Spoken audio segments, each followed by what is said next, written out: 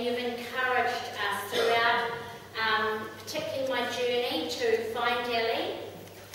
And when we found her, many of you embraced her and her sister when they came to New Zealand um, last year. Many of you here tonight are part of that wider story that I actually don't know a lot about. You have your own stories to tell, and we really, really admire you for that as a family. But tonight is about honouring my parents, my parents-in-law. I came to know them like parents. I was like, I know that I was like a daughter to my mother-in-law. And I'm so very glad we had a close friendship because she was able to tell me about Ellie. Mm-hmm. Um, I know Patricia's already said it, but I just want to pay particular thanks to Vera because Vera really encouraged me um, in my journey, even though nothing came of it at that particular time. But it's wonderful tonight to have Caleb, my grandson, here. You can stand up, Caleb. Because Caleb was the one when I had finished my search and nothing had happened. Caleb said to me, Nana, I want you to try one more time to find Ellie.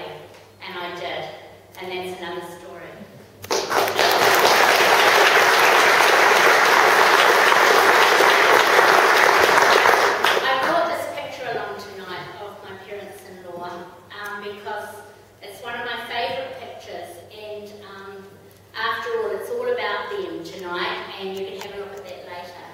That was on their wedding day in Amsterdam, and we know that they, um, my mother-in-law Jo already had said yes to having Ellie, and she had taken Ellie into Vicky because we know that Ellie's mother said to Ellie that um, Jo, this lovely housekeeper of the Jewish household, had taken the baby and she had a fiance called Fritz, and that's Fritz.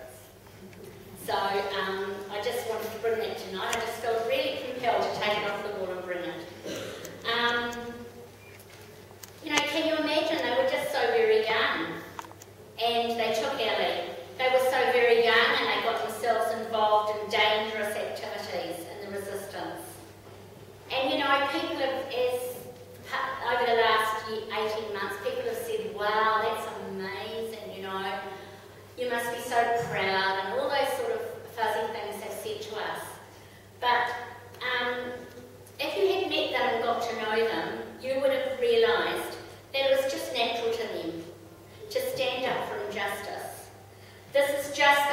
was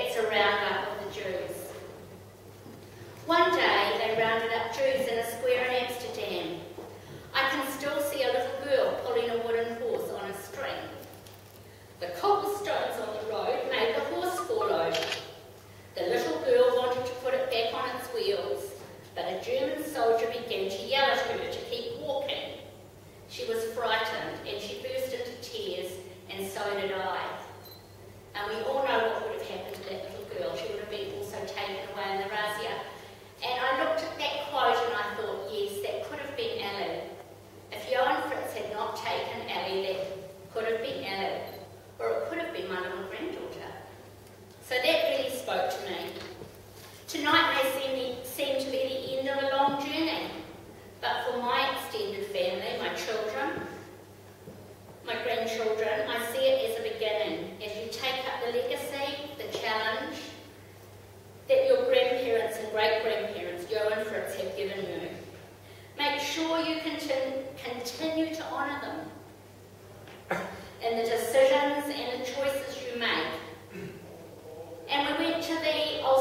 memorial of broken glass. And um, there's a quotation there, and many of you, some of you have actually um, quoted it tonight. And this amazing um, memorial of broken glass, remembering those that went through Auschwitz. And it says, never again. And that's what I want to say